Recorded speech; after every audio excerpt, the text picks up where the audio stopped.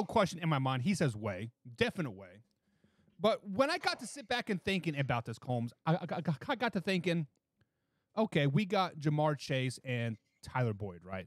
We have uh, DeAndre. We got De- DeAndre Hopkins and say Hunter Renfrow. I think that's a pretty good one-two punch, punch as well.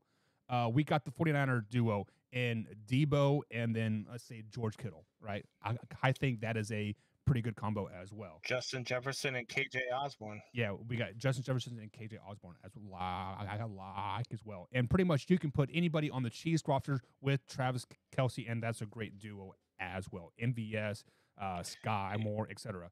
But with Was that being the said, the Green Bay, the Green Bay tandem, I might take over Hill and Waddle. Yeah, but with all that being said, this is a very dynamic duo. This is a great one-two punch.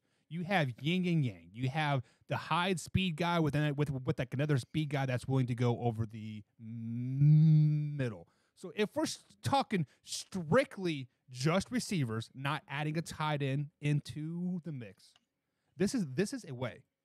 This is a hundred percent way. Tyreek Hill and Jay and Jalen Waddle is the the best wide receiver duo in the NFL. Now, if they even get a quarterback that can legitimately stay healthy, watch out, right?